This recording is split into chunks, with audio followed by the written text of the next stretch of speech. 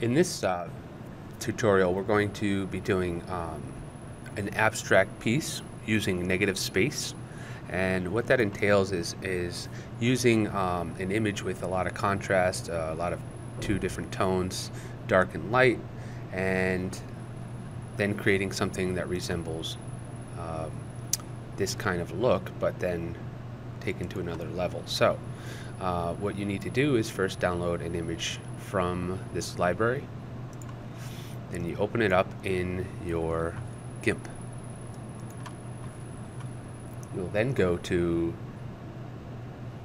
Colors, Threshold, and using this tool here, you could pull and tug on this to make it as strong or weak as you can and need to. Um, in this case, I think I'm going to do something like this and hit OK. Next, I'm going to duplicate this layer. And the idea behind this is I'm going to do some flipping. So I'm going to image, sorry, layer, transform, and I'm going to flip this around, uh, let's see, horizontally. Then I'm going to make sure I have the alpha channel applied on that top layer. So right click, add alpha channel. Going to grab the rectangle selection tool and I think I'm going to pick right about here. And I'm going to hit delete. Alright. Then I'm going to merge down. So now it's one layer see how it's one layer. Select none. And now what I'm going to do is I'm going to duplicate the layer once again. I'm going, this time I'm going to go to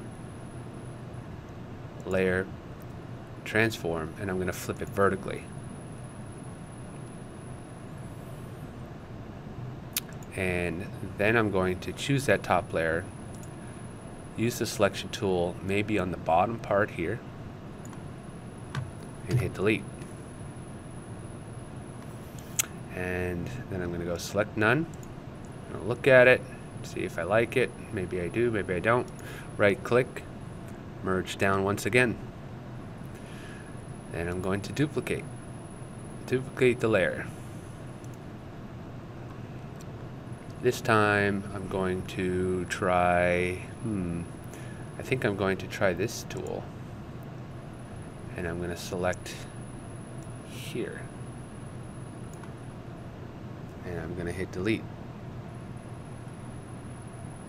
No, undo that. I forgot. Select none.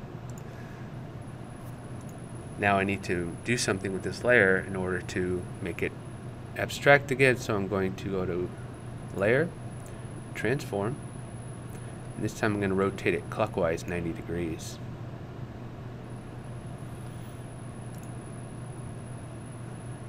I'm going to take the circle and I'm going to attempt put it towards the middle here, hit delete, select none. Now it's way crazy, but it's neat. Uh, one more thing I'm going to do, I think I'm going to then one more rectangle right across the middle, hit delete, select none, and it's good enough. Right click, merge down, Alright, now that this is one layer, I'm going to take my paint can and I'm going to choose some color and I'm going to begin trying out different color variations in my abstract. Now in this case, when I choose a paint color and I select, notice how it selects all of these. If I need it to be individualized, I need to draw lines to lock out, uh, to close this out. In other words, I would take a pencil and I would take uh, black and I would draw a line from here, shift click to here. No, I would do much nicer job and probably be more specific.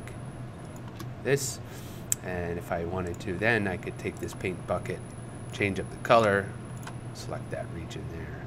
So this is crazy abstract looking, right? And on top of that, I could then add my colors and I could mess around with my uh, colorizing, right? I can then take this and mess around here. I can add saturation. I can decide how strong or how weak it is. I could also go into color balance and I can mess around with the cyan and the magenta cancel. I can also go into filters and I can go in my distortions. Remember iWarp? In iWarp I can take um, the radius and start pulling and tugging. I could also grow, say, the center.